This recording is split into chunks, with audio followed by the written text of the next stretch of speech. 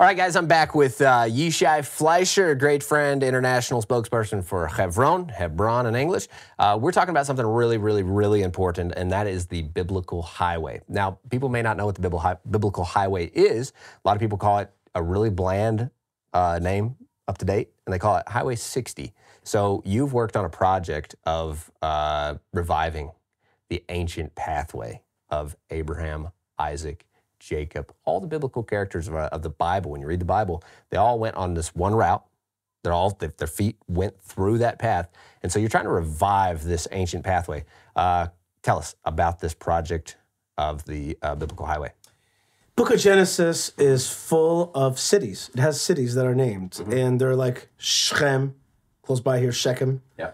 Uh, then it's going to be Jerusalem is kind of mentioned in in a, in, in hidden ways. Uh, but then you have Be- Bethel, Beit El. Mm-hmm. Uh, you have Bethlehem. Yep. You have uh, Hebron, of course, and Beersheba. Uh, and I just, as I love the book of Genesis, as everybody should here, we've got to right. read the book of Genesis, okay? Yeah. read the book of Genesis. That's my it's advice. like foundations. Let's yeah. start at the beginning. That's yeah. right. Okay. Read the book of Genesis, know the book of Genesis, you'll understand everything right. from there. And so uh, I started teaching classes about the seven holy cities, uh, which were which were Beersheba, Beersheba, mm-hmm. uh, Hebron, yep. Bethlehem, three before Jerusalem, in the middle, Jerusalem, yep. and then Bethel, Bethel, Shiloh, Shiloh, mm-hmm. and Shechem, Shechem. Okay, seven holy cities, Jerusalem in the, in the middle, and really the most of the Bible happened right along this route. And so I was like looking at it, I'm like, this is on one road. Right. Today it's called Route 60. One road, which is which is uh, it was obvious to me the biblical highway. People sometimes like to call it the Patriarch's Highway. I was like, this is a bad brand, okay? Because first thing, nobody likes patriarchy today. And also, it's not fair to talk about patriarchs when you have patriarchs and matriarchs. Right. And when you have mamas and papas. And on top of that, I don't think that that's not even being woke. That's just being respectful. Like you got to oh, talk about the patriarchs. When you talk about patriarchs. patriarchs and matriarchs, you're not being woke. You're being conservative. You're being conservative. That's right. Okay. that's right. Because some people don't know that it still takes mothers and fathers. fathers. See, we're being. Like, See, I'm being conservative. this is very conservative. I tell people all the time, like, no, no, no. That's that's actually my conservative streak.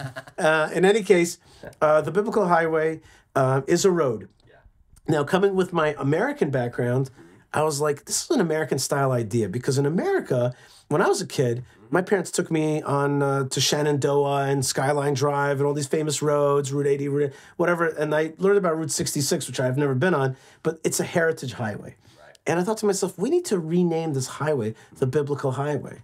Uh, we need to connect people to this to the idea that first thing when you come to Israel, you can connect to the Bible. Wow. That's like so simple, so, and yet and yet it's not, and yet it's missing a lot of times. People don't know that the Bible happens in the land of Israel. When you come to the state of Israel to travel here, you're going to connect with the stories of the Bible. And so the idea was to create a, a, a, touristic educational attraction that bypasses all the politics and all the issues. And it just says, forget, forget about the conflicts, forget about Israelis and Arabs and all that.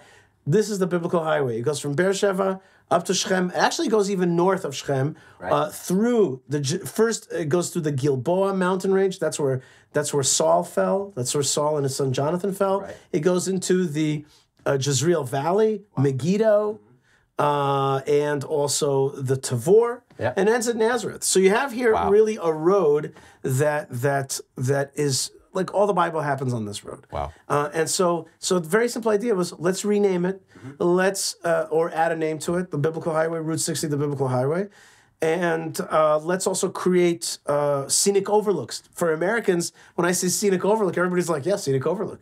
But in Israel, it's not so common to think about that. That there's actually a drive off, mm-hmm. and you're looking at it and you're understanding. And it goes to the mountain region. A large part of it cuts right to the Samaria, Judea mountain region of Israel. So right. So the heart of it, of course, is Jerusalem, which is the capital, and also the heart of Judea and Samaria.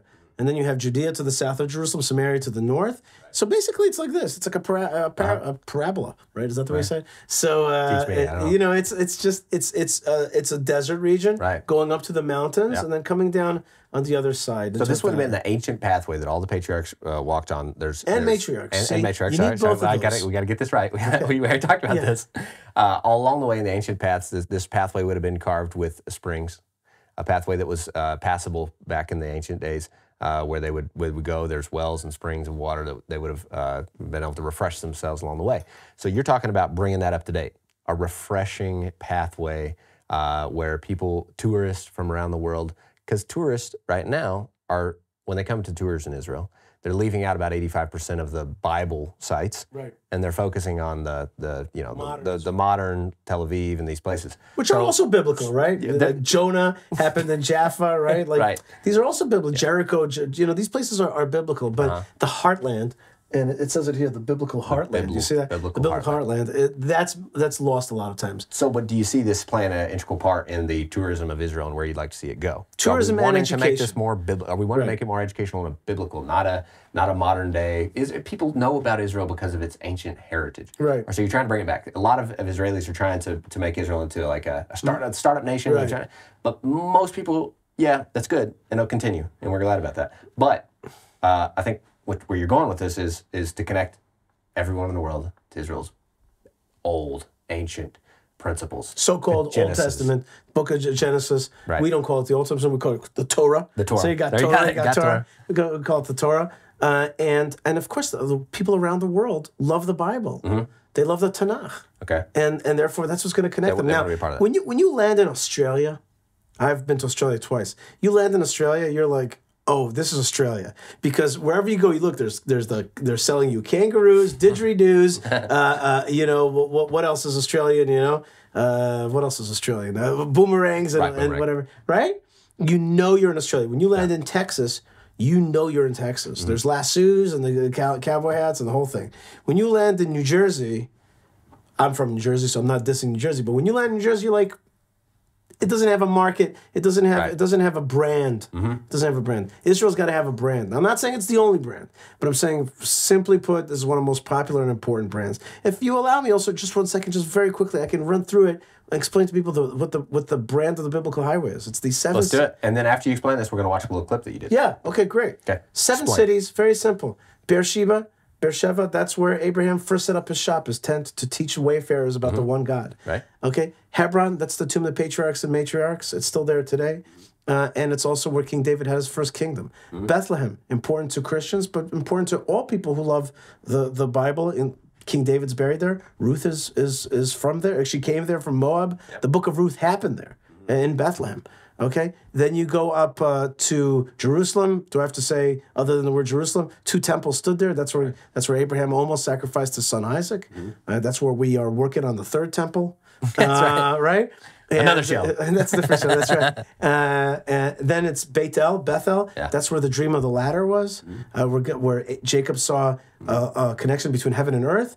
And that's also uh, where Jacob got another name, his super name, which is Israel. Jacob is his Clark Kent name, right? when he takes off the Jacob shirt, underneath is Israel, right? That happened in Bethel. Shiloh, the tabernacle stood there for 400 years, and that's where the story of Hannah and the birth of Samuel the prophet happened. And then finally, uh, Shechem or Shechem, lots of stories there, um, including the place of the blessings and the curses that happened uh, when the Jewish people came into the land with Joshua.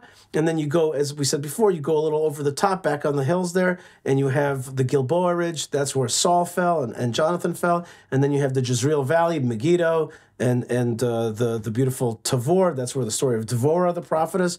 And finally, for, for Christian folks, it's important also in Nazareth. So you have you have you have so much of the Right on the Bible highway. on, on one one highway. Let's use it as a teaching tool. Yeah. Now, uh, I made a little movie about it, and Yep. maybe we could check it We're, out. we're going to catch this uh, video right now, and then I've got a political question for you right at the end. Check it out.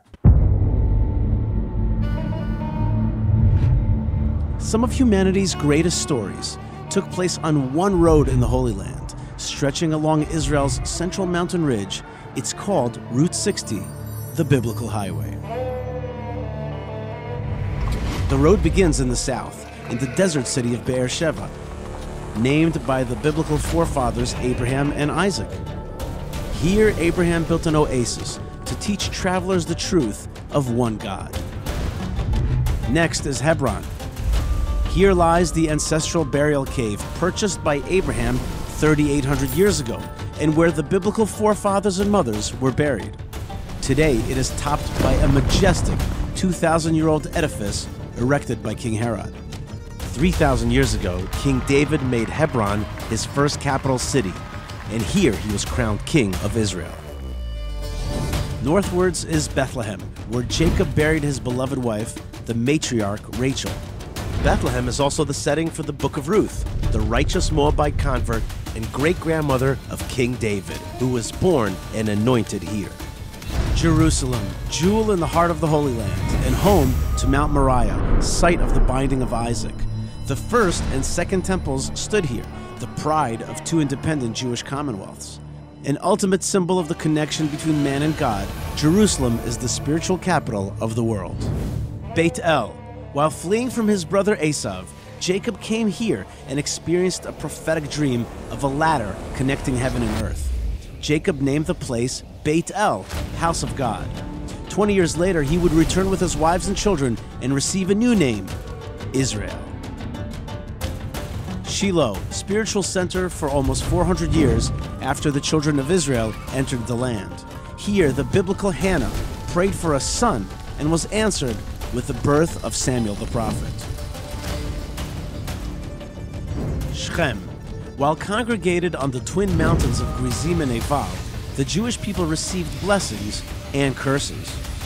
Here, Joshua buried the bones of Joseph, carried to the land of Israel by the Jewish people during their sojourn from Egypt.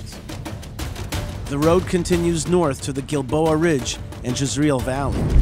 Here on majestic Mount Tabor, the prophetess Devorah sang a song of victory, and nearby the fearless Yael slew Sisera, commander of Hatzor's army.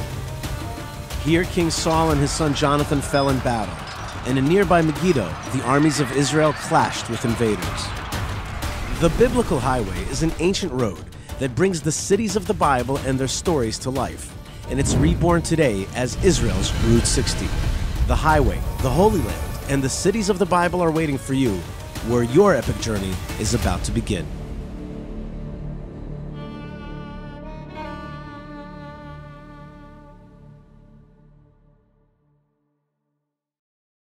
Is that nice? Did you like that movie? Yeah, it was fantastic. That was fantastic. You gotta. You, this is this fantastic. It was a lot of work. You- okay. Yeah, yeah. So, uh, yeah, this is going to be an incredible uh, movement that's, That's right. starting.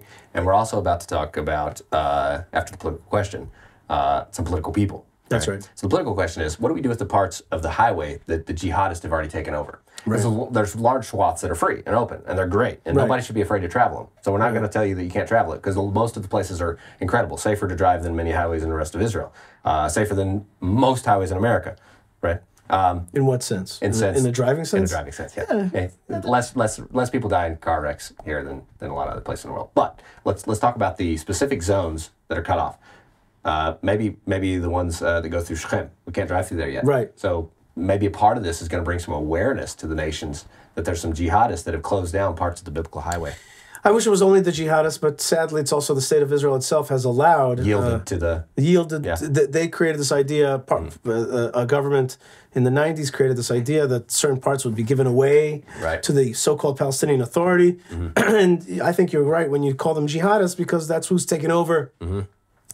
And I mean, the, the Palestinian Authority was always going to be jihadist since it was started by Yasser Arafat, one of the great jihadists and haters of, the, of, of Israel and, and a person who sought to destroy Israel.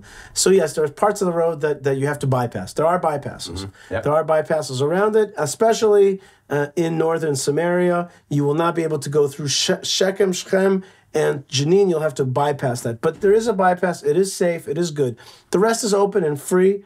Uh, and of course, though, through the love of this road, maybe one day congressional recognition of this road, certainly Israeli recognition of the importance of this road, Let's do it. Uh, there'll be more funding and more concern and more beautification. Before you come to Israel, you're going to download the uh, the biblical highway app. App, that's right. You're going to see the sites, right? We're going to have That's all right. of this. This is going to be. Absolutely, and you're gonna and, you, and you're gonna you're gonna make it. I want it to be that you're like, oh, I want to go to Masada, and I want to do the biblical highway. That's I, gonna be on the I, I want list. it to be. It's just got to be a, a right. brand that's in your head. Okay, so most people think that we are just talking about this crazy idea and this is going to be great, but there's actually some really big political players that have laid out and agree with you in this idea. That's the right. Knesset has talked about. You've brought it up in Knesset to try to get this pushed through. There's also some big players in America. David Friedman, the former uh, U.S. ambassador to Israel, and uh, Mike Pompeo, former Secretary of State. These two guys have created a film. Tell us about what they did. Because you created the idea. You're the idea guy. We got the idea guy here with us right now, uh, and now it's gone big, and it's about to go even bigger. As biblical folks say, you know, God put it on my heart. And then That's he, right. he put it on my heart. He did, uh, and uh, and it was through teaching Torah Yeah. that this idea came around. Uh, David Friedman, uh, Ambassador David Friedman, uh, set out to make a movie Mm-hmm. uh, with the folks at TBN, and he brought in uh, Mike Pompeo, former Secretary of State, and they went, they choppered from spot to spot on the biblical highway. Wow. And they made a video that is going, not a video, a movie, a, a feature length film that is going to be shown in a thousand uh, movie theaters, I think September 18th and 19th. Uh, and this movie is going to show you all the sites, uh, including for Christian folks, um, uh, but the biblical sites, and they're they're going to be really showing you the connection to the land. Wow. And it's a beautiful film. They did great shooting. They took it very seriously. And and I'm telling the Israeli government, I'm like, look, here's a movie. It's coming. We got to match. We got to make sure that we've got that naming done and all that kind of stuff because we're working on the political side as well. It's a kind of pincer movement. We got we got the American. Good. and international folks interest, and then we have the Israeli government underneath, and, and we're pushing together to recognize this highway. It's been a dream of mine for a long time, and uh, you know I got a lobbyist, and we're working. Uh, but of course, it's really God's blessings. It's it's His story. It's God's right. story. It's the story of the Book of Genesis. It's the story uh, of the great of the great prophets and and the great r- route. This is the holy mountain.